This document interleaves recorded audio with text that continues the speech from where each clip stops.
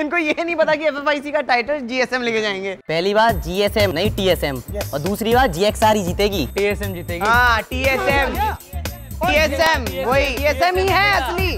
अरे जाओगे क्या? जी तू पीछे बता गाइस गाइस रिलैक्स ये कोई झगड़ने की बात है क्या? सबको पता है टीम एलिटी जीतेगी। तो आवाज़ नीचे कर शूट पहना मैंने भाड़े से। तब पाँच पॉइंट बोल हूँ उड़ा दूँगा मैं। अरे, शो की तो ये मेरी गाड़ी उड़ा दूँगा। ये सूट भाड़े का है पर वैसे तुम लोगों को जितना लड़ना है लड़ लो। ब्लाइंड ई स्पोर्ट्स ही सबसे बेस्ट टीम है। ये कौन है? इसका कोई तरफ़ से भाई उम्मीद करता हूँ अच्छी होगी। तो भाई लोग एफ़ आई सी प्लेन्स परसों ही ओवर हो गए थे बट हमारा काम अभी ओवर नहीं हुआ। फ़र्स्ट मैच की एनालिसिस कल आई थी तो इस वीडियो में हम आगे के तीन मैचेस कवर करेंगे। सो चलो हम करते हैं वीडियो को स्टार्ट बट अगर आप नए हो चैनल पे तो सब्सक्राइब कर देना यार। मैच टू फ़र्स्ट मैच के चैंपियंस और एरो के बीच क्लैश रनिंग हुई। और जिस तरह का मोमेंटम पकड़ा हुआ था पीवीएस ने, उनके लिए एरो के दो प्लेयर्स को वाइप आउट करना ज़्यादा मुश्किल काम नहीं था। इसके बाद पीवीएस के सामने से टीएसएम का रोटेशन आ गया। अब टीएसएम फिनाले के लिए क्वालिफाई तो हो गई बट टीएसएम के रोटेशन में सीरियस प्रॉब्लम्स हैं। पहले तो जब आप कंपाउंड की तरफ़ जाते हैं तो एक बेसिक चेक होता है दूर रुक के कि कंपाउंड में कोई है तो नहीं। जो टीएसएम नहीं करती। सेकंड ये लोग हमेशा रोड से रोटेट करते हैं और बीच में ही पकड़ जाते हैं। जब व्हीकल ऊपर पहाड़ से भी जा सकता है तो मेन रोड से जाके एक्सपोज क्यों होना आप स्क्रिम्स में ऐसे धूम की शूटिंग करो, चलता है। बट ये एफ़ एफ़ आई सी है एफ़ एफ़ आई सी जीता नहीं जाता आसानी से। आपको ट्राई हार्ड करना होगा। पीवीएस ने टीएसएम के दो बंदे नॉक करे बट एसजी ने उनका किल चुरा लिया। उसके बाद टीएसएम के बचे हुए दो प्लेयर्स की तरफ़ पीवीएस ने रश कर दिया।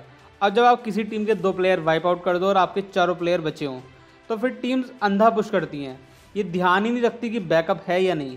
ओल्ड मोंक और जय अलग अलग थे पीवीएस एक साथ आके जय को वाइप आउट कर सकती थी। बट जो डिले हुआ प्लेयर्स के रश करने में उसकी वजह से जय ने दो नॉक कर दिए। पीवीएस रोहित ने जय को नॉक तो किया बट इतने में दूर से एफटीएफ थर्ड पार्टी करने लगी। जय के फिनिश होने के बाद ओल्ड मोग ने काफ़ी बढ़िया खेला और पीवीएस के तीन प्लेयर नॉक कर दिए। और शायद यहाँ ओल्ड मोग एक वन बी फोर क्लच कर सकते थे बट टीम इलिट की थर्ड पार्टी ने ऐसा होने नहीं दिया। बिकॉज़ अगर ओल्ड मोग यहाँ डायरेक्ट रश करते तो इलीट ऊपर से उन्हें फिनिश कर देती। तो यहाँ ओल्ड मोग ने अच्छा प्रेजेंस ऑफ़ माइंड दिखाया बट हाँ नेटिंग कर सकते थे वो पीवीएस पे। बट ये नहीं पता मुझे कि उनके पास नेट्स थे या नहीं बिकॉज़ कैमरा एंगल एलिट पे था। पीवीएस के सारे प्लेयर रिवाइव तो हो गए बट इलीट ने उन्हें पिन कर रखा था। लेकिन यहाँ पीवीएस की हेल्प की टीसी ने एलिट को थर्ड पार्टी करके। आइकॉनिक को नॉक फिनिश कर दिया टीसी ने बट इतने में ओल्ड मोंग ने योगी को नॉक फिनिश कर दिया। इसके पैरेलल एजी वर्सेस एफटीएफ की भी फाइट चल रही थी। एजेंट की लैंडमाइन से एजी के दो प्लेयर्स नॉक हो गए और एफटीएफ के लिए इजी फाइट थी। बट इंसेन के वन वी थ्री क्लच ने एफटीएफ को लॉबी भेज दिया। इसके बाद टीम एलिट जिस पोजिशन में थी, वो उनके लिए खतरनाक साबित हुई। टीसी यूजी टीएनएम पीवीएस इन सबने एलिट को घेर रखा था। और फाइनली टीसी ने एलिट पे पुश करके उन्हें वाइप आउट कर दिया। अब पीवीएस को इस मैच में जोन का काफ़ी बेनिफिट मिला। उसी कंपाउंड में बार बार जोन बनता गया बट स्टिल टीसी के शॉट्स को पीवीएस डॉज नहीं कर पाई। और टीसी ने एक शानदार बुया किया। मैच थ्री सेकंड मैच की तरह यहाँ हमें फुल फाइट स्टार्टिंग में देखने को नहीं मिली। काफ़ी स्कैटर्ड फाइट थी। एक दो प्लेयर्स वाइप आउट होने के बाद टीम बैक ऑफ़ कर रही हैं। L R seven versus T N M की फाइट स्टार्ट हुई बट टी एन एम ने बैक ऑफ़ कर लिया। इसके बाद इलीट वर्सेज यू जी की फाइट हुई। यू जी के तीन प्लेयर्स इलीट ने वाइप आउट कर दिए। तो लास्ट बंदे ने बैक ऑफ़ कर लिया। यहाँ टीम्स पोजीशन पॉइंट्स की इंपोर्टेंस को भी समझ रही हैं। इसके बाद पीवीएस ने टीएनएम के दो प्लेयर वाइप आउट कर दिए। एंड उसके बाद की काफ़ी फाइट चलती चली गई। जैसे P V S versus L R seven जहाँ एको ने एनिमी के साथ साथ अपने नेट से खुद को नॉक कर लिया। इसी के parallel Elite versus Aero and TSM versus TC की फाइट भी हुई। फाइट्स को इतना लंबा खींचने की वजह से काफ़ी सारे प्लेयर जोन से एलिमिनेट होते दिखे। लेकिन इस मैच में भी पीवीएस पूरे मोमेंटम में थी। टी टू को वाइप आउट किया बट उसके बाद पिक्चर में आती है टीम एलिट जहाँ पहले तो पहाड़ी ने टीसी के लास्ट प्लेयर को हवा में फिनिश कर दिया एंड इसके बाद आइकॉनिक के नेट्स पीवीएस पे बरस गए और स्ट्रॉन्ग दिख रही पीवीएस पल भर में वाइप आउट हो गई। एंड उसके बाद किलर और आइकॉनिक के डायनेमिक डुओ ने एफटीएफ को वाइप आउट करके टीम लीड को बुझा दिला दिया। मैच फोर इस मैच की शुरुआत तो स्लो स्लो सी हुई बट धीरे धीरे इस मैच ने रफ्तार पकड़ी।